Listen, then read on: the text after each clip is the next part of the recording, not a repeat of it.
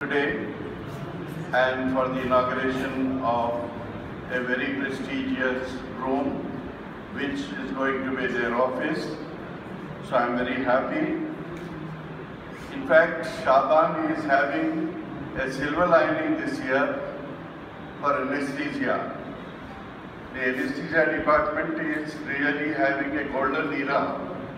They're enjoying the golden era. 19, 2015 is very, very lucky for them. Particularly our HOD is doing a lot of work. He has successfully conducted the conference.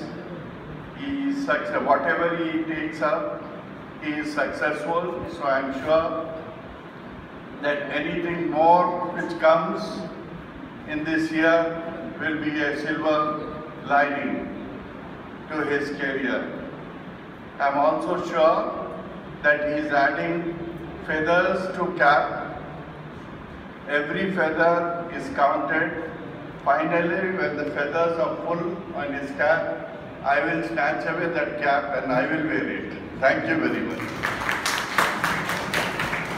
Thank you so much for that kind words, sir. It has indeed been a golden year for us this year. We conducted a successful conference which was a benchmark for the conferences held in the state and for the conferences which was conducted in a college. Thank you so much, sir.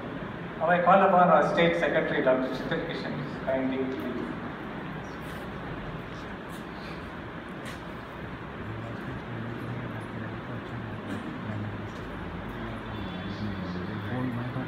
Good afternoon, everybody.